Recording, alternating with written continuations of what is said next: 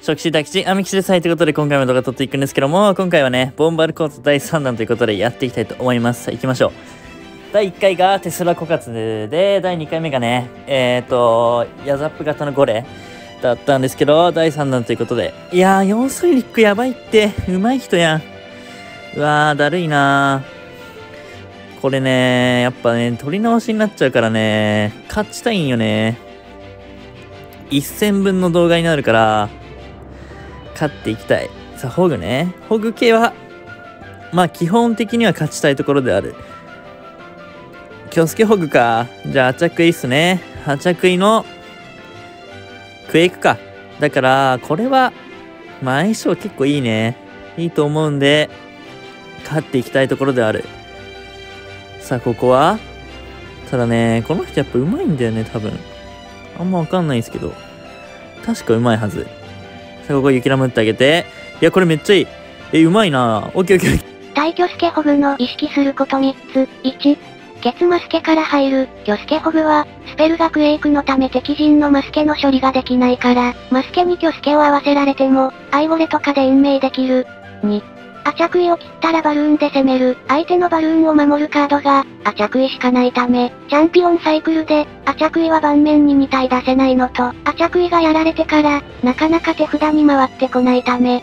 3、基本逆サイドを攻める。同サイド勝負だと、守られてカウンターをもらってしまうため、削られてるサイドにカウンターが来たら嫌なため、逆サイドに攻める。俺はこの3つを意識して、やっています。では続きを見ていきましょう。さあ、ここは、バルーン5コスで行って、もう大砲しかないんでね。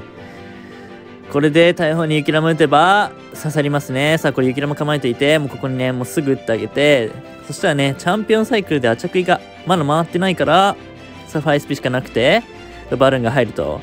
なんなら、あ、まあ、さすがにね。これさっきもやったな。このさすがにのくだりもうやったわ。さあ、ここは、気をつけでしょまあこれ、ホグ来たらだるいから、回しといて、まあ気をつけでしょオッケーオッケーオッケー。さあ、ここね、マスケから入ってあげて、多分あ着いつけてきて、逆サイホグとかかな来るとしたら。だと思うんで、ここはね、一旦蓋して、お、なるほど。いや、これめっちゃ美味しいね。これはね、守れますね、さすがに。これね、あちゃくい入っちゃうんだけど、別にいいや。待って、入りすぎじゃね？待って、入りすぎ、入りすぎ。あ、待って待って。あの、予想以上に入ってるわ。これ絶対ホグくんな。待って、やばいやばい。なんか、なんかやばい。え、待って。アチャクイホグとかいうよくわかんない攻めに めっちゃ削られてるって俺。下手すぎるって。さあ、ここは？じゃあ、アチャクイ許容ダメだな。めっちゃ食らったわ。全然ダメだったわ。さあ、ここはね、タゲ取りつつの、いや、これね、絶対相手ね、ホグ飛ばしてくると思うから、そこだけね、これ絶対ホグ来るよ。え、来ない？マジか。オッケーオッケーオッケー。これでバック入れつつ、さあいいよ。さあ、逮捕ね。オッケーオッケー。これは、もう相手ね、ホグしかないから、多分来ると思うんで、構えていてね。さあ、これね、雪ラムって、バッカーだけね、入れたら、GG かな。オッケー、危ねえ、マジで。さあ、これは、回して、ああ、勝ちだ。よしよしよし、危ねえ、よかった。